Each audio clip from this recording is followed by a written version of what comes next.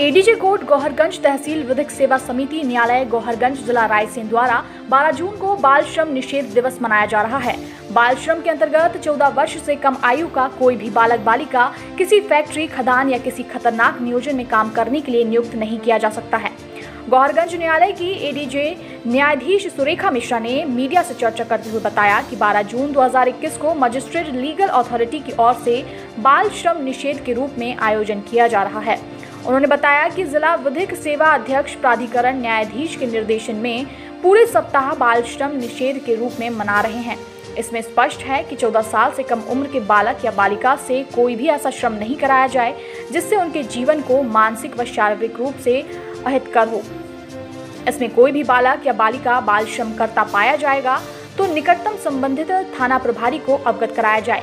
जिससे हम बाल कल्याण समिति उन बच्चों को वहाँ से छुड़ाकर उस बालक बालिका का पुनर्वास कराएँगे। नमस्कार।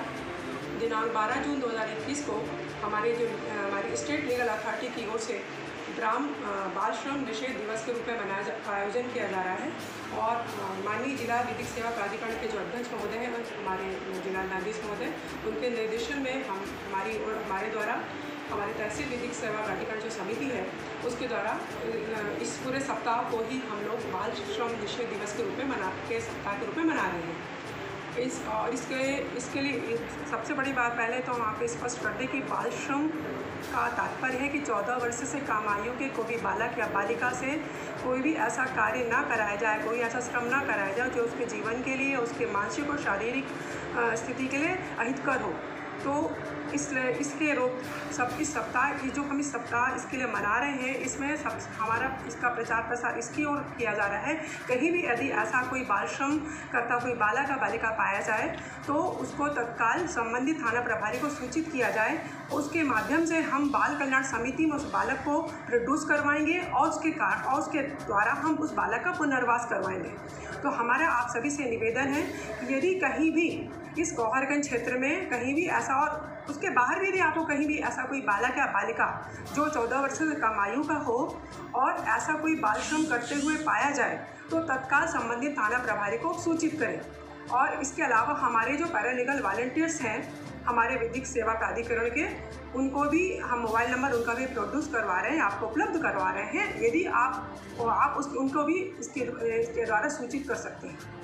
12 जून 2021 को संपूर्ण विश्व में और भारत में बाल श्रम प्रतिषेध दिवस मनाया जा रहा है।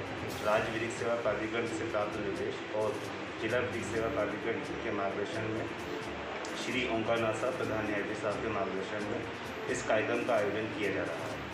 इस कार्यक्रम के तहत भिन्न भिन्न स्थानों पर जाकर हमने इसका प्रचार प्रसार कराया है कि किस प्रकार हम बाल श्रम को रोक सकते हैं। थाना प्रभारियों से समन्वय किया पूरे जनपद पंचायत के माध्यम से हमने सभी सरपंचों को इस बारे में निर्देश दिए उनको प्रचार प्रसार कराया है कि हम किस प्रकार से बाल श्रम को रोक सकते हैं। उनको ऐसे स्थानों को चिन्हित कराया गया है कि जहाँ पर बाल श्रम की गुंजाइश हो सकती है। इस तारतम्य में सभी लोगों से अपील है कि ज़्यादा से ज़्यादा वह एक प्रयास करें कि जहाँ जहाँ बाल श्रम पाया जाता है उनके संज्ञान में आता है वह इसकी सूचना थाना प्रभारियों को दें और सूचना देने वालों को यथोचित सम्मान भी दिया जाएगा।